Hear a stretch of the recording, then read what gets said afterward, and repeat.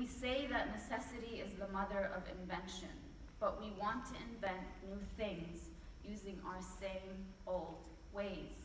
We want to innovate without recognizing that innovating ends with I-N-G. To say that I want to walk is not the same as actually walking. To say that I want to run is not the same as actually running. To say that I want to innovate not the same as actually innovating.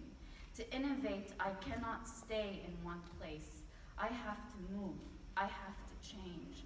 I have to climb steep slopes and mountains. I have to look closely sometimes, dissect and analyze, and other times I have to put the world beneath my feet or on top of my head to see the bigger picture. To innovate, I have to move.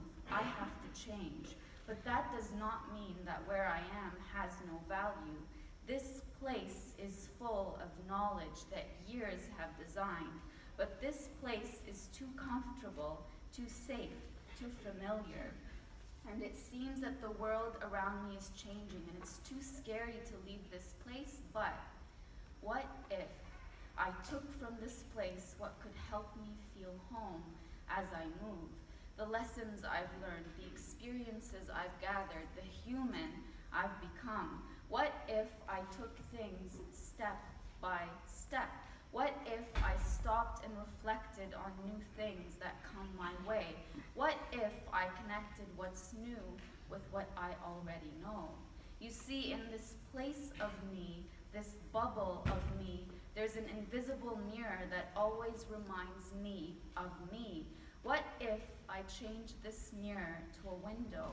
Magic can happen because I don't just see myself, my stories, my experiences, I start seeing the world, someone else with a story, an experience, a lesson to teach me, and another person who's afraid to leave their place too, and another person who feels that the weight of the world is way too heavy too. So what if I extended my hand to tell someone else, me too?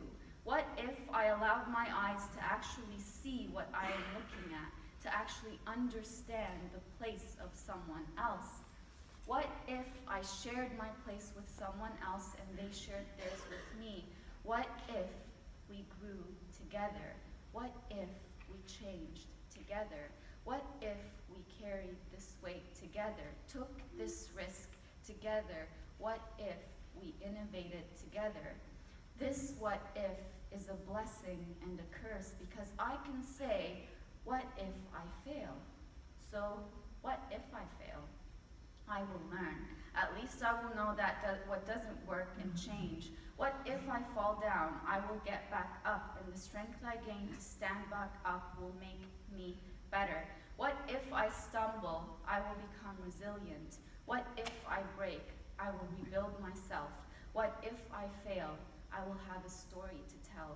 I will have someone to inspire. I will have someone to lead by example.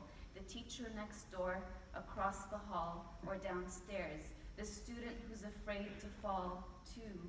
The student who's afraid of leaving their own space, too. Or the student who feels all alone. Because to truly teach, I must not only look at, but also see who I am teaching, the humans that I am teaching.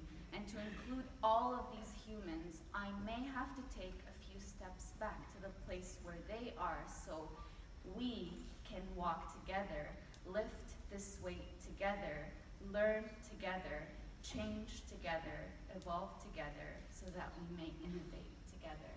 Thank you.